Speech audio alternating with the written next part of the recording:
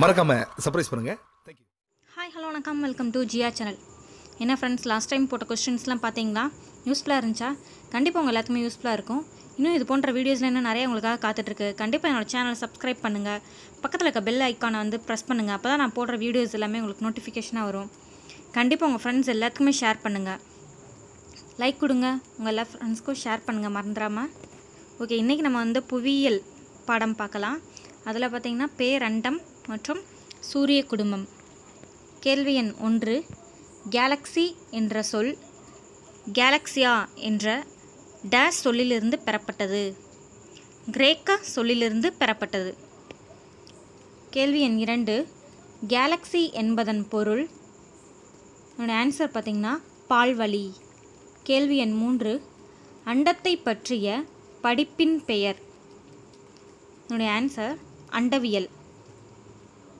ஒன்றாவது காஸ்மாஸ் என்பது கிரேக்க மொழிச்சொல் கேள்வி எண் நாலு பெருவெடிப்பு நிகழ்வுக்கு பிறகு சுமார் ஐந்து பில்லியன் வருடங்களுக்கு பின் உருவானது. ஆன்சர் பால்வெளி விண்மீன் திரள் மண்டலம் அதாவது மில்கி வே கேலக்ஸி இந்த கேலக்சியில் இருந்ததுக்கெல்லாம் பார்க்கலாம். ஒன்றாவது மிக அருகிலுள்ள கோள் பார்த்திங்கன்னா புதன். இரண்டாவது வெப்பமான கோள் பார்த்திங்கன்னா வெள்ளி. மூன்றாவது உயிர்கோளம் என்னோட ஆன்சர் புவி. நான்காவது செந்நிற கோலம். என்னுடைய ஆன்சர் செவ்வாய். ஐந்தாவது பெருங்கோள். என்னுடைய ஆன்சர் வியாழன். ஆறாவது வளையங்கள் கொண்ட கோள். என்னுடைய ஆன்சர் சனி. ஏழாவது உருளும் கோள். என்னுடைய ஆன்சர் யுரேனஸ் எட்டாவது குளிர்ந்த கோள். என்னுடைய ஆன்சர் நெப்டியூன். கேள்வி எண் ஐந்து புவிக்கு மிக அருகில் உள்ள நட்சத்திரம். ஆன்சர் சூரியன். கேள்வி எண் ஆறு சூரியனுக்கு மிக அருகில் காணப்படும் நட்சத்திரம். என்னுடைய ஆன்சர் பிராக்சிமா சென்டாரி. கேள்வி எண் ஏழு அல் மெக்காஸ்ட் என்ற நூலின் ஆசிரியர். என்னுடைய ஆன்சர் தாலமி கேள்வி எண் எட்டு உர்சா மேஜர் என்றால் லத்தீன் மொழியில் டேஸ் என்று பொருள். என்னுடைய ஆன்சர் பெரிய கரடி. கேள்வி எண் ஒன்பது சூரியனை விட மிகவும் பிரகாசமான நட்சத்திரம். என்னுடைய ஆன்சர் சிரியஸ். கேள்வி எண் பத்து புவிக்கு அருகில் காணப்படும் விண்மின் திரள் மண்டலங்கள். என்னுடைய ஆன்சர் ஒன்றாவது ஆண்ட்ரோமெட்டா விண்மீன் திரள் மண்டலம். இரண்டாவது மெக்கல்லனிக் கிளவுட்ஸ் விண்மீன் திரள் மண்டலம். கேள்வி எண் பதினொன்று. நமது சூரிய குடும்பம் காணப்படும் விண்மீன் திரள் மண்டலம். ஆன்சர் பால்வெளி விண்மீன் திரள் மண்டலம். கேள்வி எண் பன்னெண்டு. நமது சூரிய குடும்பம் பால்வழி அண்டத்தின் மையத்திலிருந்து ஒரு மணி நேரத்திற்கு டேஸ் வேகத்தில் சுற்றுகிறது. ஆன்சர் எட்டு லட்சத்தி இருபத்தி எட்டாயிரம் கிலோமீட்டர் வேகத்தில் சுற்றுகிறது. கேள்வி எண் பதிமூன்று.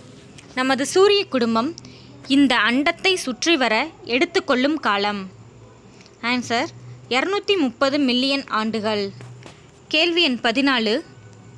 நெப்டியூன் நீலவட்ட பாதையில் இருந்து தொடங்குவது. ஆன்சர் குய்ப்பர் மண்டலம். கேள்வி எண் பதினைந்து. ஊட் மேகம் விண்வெளி டேஸ்களால் ஆனது. ஆன்சர் பனித்துகள்களால் ஆனது. கேள்வி எண் பதினாறு சூரியனை ஒன்று புள்ளி ஆறு ஒளியாண்டுகள் தூரத்தில் இருந்து சுற்றுவது. ஆன்சர் ஊட் மேகம். கேள்வி எண் பதினேழு நமது சூரிய குடும்பத்தில் கண்டறியப்பட்டுள்ள துணைக்கோள்கள். கேள்வி எண் பன்னெண்டு நமது சூரிய குடும்பம் பால்வழி அண்டத்தின் மையத்திலிருந்து ஒரு மணி நேரத்திற்கு டேஷ் கிலோமீட்டர் வேகத்தில் சுற்றுகிறது. எட்டு லட்சத்தி இருபத்தி எட்டாயிரம் கிலோமீட்டர் வேகத்தில் சுற்றுகிறது. கேள்வி எண் பதிமூன்று. நமது சூரிய குடும்பம் இந்த அண்டத்தை சுற்றி வர எடுத்துக்கொள்ளும் காலம். ஆன்சர் இரநூத்தி முப்பது மில்லியன் ஆண்டுகள். கேள்வி எண் பதினாலு. நெப்டியூனின் நீள்வட்ட பாதையில் இருந்து தொடங்குவது டேஸ். ஆன்சர் குயிப்பர் மண்டலம். கேள்வி எண் பதினைந்து. ஊர்ட் மேகம் விண்வெளி டேஸ் துகள்களால் ஆனது பனித்துகள்களால் ஆனது. கேள்வி எண் பதினாறு. சூரியனை ஒன்று புள்ளி ஆறு ஒளியாண்டுகள் தூரத்தில் இருந்து சுற்றுவது டேஸ் ஊர்ட் மேகம். கேள்வி எண் பதினா பதினேழு. நமது சூரிய குடும்பத்தில் கண்டறியப்பட்டுள்ள துணைக்கோள்கள். ஆன்சர் நூற்றி அறுபத்தி மூன்று. கேள்வி எண் பதினெட்டு.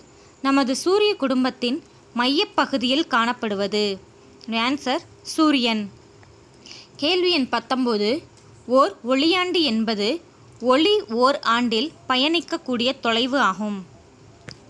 ஒன்று ஒளியின் திசைவேகம் வினாடிக்கு மைனஸ் மூணு லட்சம் கிலோமீட்டர் மற்றும் இரண்டாவது ஒளியானது வினாடிக்கு பயணிக்கும் வேகம் முன்னூற்றி முப்பது மீட்டர் கேள்வி எண் இருபது சோலார் என்ற பதமானது டேஸ் என பொருள்படும் சோல் என்ற லத்தீன் வார்த்தையிலிருந்து பெறப்பட்டது. என்னுடைய ஆன்சர் சூரிய கடவுள். கேள்வி எண் இருபத்தி ஒன்று புவியின் தோற்றத்தை பற்றிய அகத்திரள்வு கோட்பாட்டை முன்வைத்தவர் யார்? Lyttleton. கேள்வி எண் இருபத்தி ரெண்டு சூரிய மண்டலமானது சூரிய நெபுலா என்று அழைக்கப்படும் டேஸ் மற்றும் டேஸ் நிறைந்த மேகக்கூட்டமாக இருந்தது.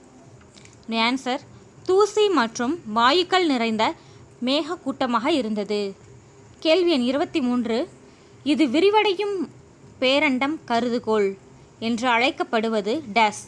என்னுடைய ஆன்சர் பெரு வெடிப்பு கோட்பாடு அதாவது பிக் பேங் தியரி. கேள்வி எண் இருபத்தி நான்கு பேரண்டத்தின் தோற்றம் பற்றிய கோட்பாட்டை முதன் முதலில் முன்வைத்தவர். என்னுடைய ஆன்சர் அபே ஜார்ஜ் லேமட்ரே கேள்வி எண் இருபத்தி ஐந்து பேரண்டம் விரிவடைந்து கொண்டிருப்பதற்கான ஆதாரங்களை முன்வைத்தவர். ஆன்சர் எட்வின் கபில் கேள்வி எண் இருபத்தி ஆறு சூரிய குடும்பம் டேஸ் விசையால் பிணைக்கப்பட்டுள்ள ஓர் அமைப்பாகும். ஆன்சர் ஈர்ப்பு விசையால் பிணைக்கப்பட்டுள்ள ஓர் அமைப்பாகும். கேள்வி எண் இருபத்தி ஏழு. சூரிய குடும்பத்தில் உள்ள அனைத்து வான் பொருட்களும் சூரியனை சுற்றி வருகின்றன. கேள்வி எண் இருபத்தி எட்டு. சூரியன் சூரிய குடும்பத்தின் மொத்த நிறையில் உள்ள சதவிகிதம். ஆன்சர் தொண்ணூற்றி ஒன்பது புள்ளி எட்டு சதவீதம் கேள்வி எண் இருபத்தி ஒன்பது. சூரியனில் உள்ள வெப்பமான வாயுக்கள் என்னுடைய ஆன்சர் ஹைட்ரஜன் மற்றும் ஹீலியம் கேள்வி எண் முப்பது சூரியனின் மேற்பரப்பு வெப்பநிலை. என்னுடைய ஆன்சர் ஆறாயிரம் டிகிரி செல்சியஸ். கேள்வி எண் முப்பத்தி ஒன்று சூரியனின் வெப்பநிலை புவியின் மேற்பரப்பை வந்தடையக்கூடிய கால அளவு. என்னுடைய ஆன்சர் எட்டு புள்ளி மூணு நிமிடங்கள். ஓகே ஃப்ரெண்ட்ஸ் இது வரைக்கும் எனக்கு சப்ஸ்கிரைப் பண்ண எல்லா ஃப்ரெண்ட்ஸுமே ரொம்ப ரொம்ப நன்றி. இன்னும் சப்ஸ்கிரைப் பண்ணாமல் இருக்கல ஃப்ரெண்ட்ஸ்மே கண்டிப்பாக என்னோட சேனலை சப்ஸ்கிரைப் பண்ணுங்கள் கண்டிப்பாக லைக் கொடுங்க உங்கள் ஃப்ரெண்ட்ஸ் எல்லாத்துக்குமே ஷேர் பண்ணுங்கள் ஓகே ஃப்ரெண்ட்ஸ் பாய்